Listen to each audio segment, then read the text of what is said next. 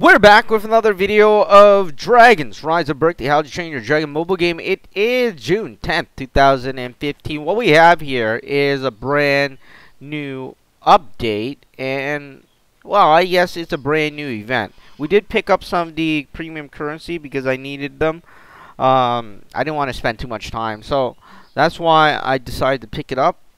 Hit the Barf and Belch offspring is what we have here. As you can see we also have the battle limited edition battle hideous zippleback now they're both amazing looking dragon and especially the hideous zippleback you notice that there is 2000 I've never seen 2000 before. 2000 battle power. When when was the last time I saw a 2000 probably a really long time ago. So Really amazing character. If you haven't picked it up, you should definitely get it for your game.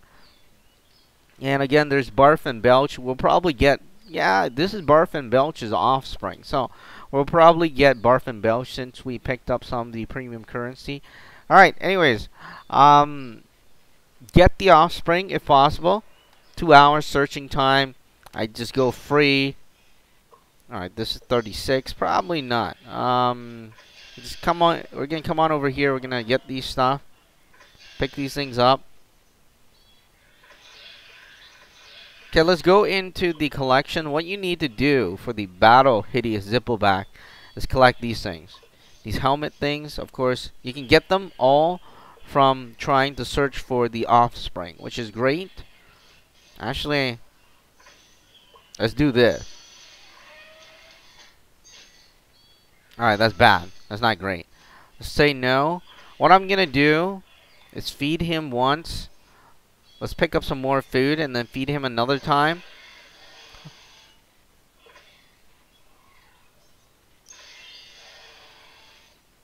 We need more food. Oh boy, we're out of food. Collect some of the wood.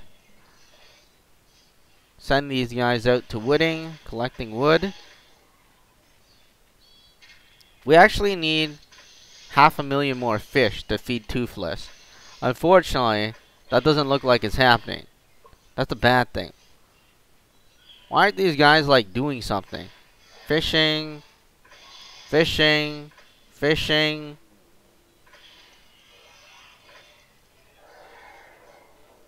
Fishing. Gotten some wood.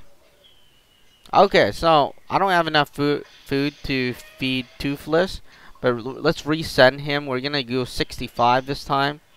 Yeah, we're gonna stay there. Anyways, uh, definitely worth getting. So you should pick it up. The hideous Zippo Zippleback, 24 hours.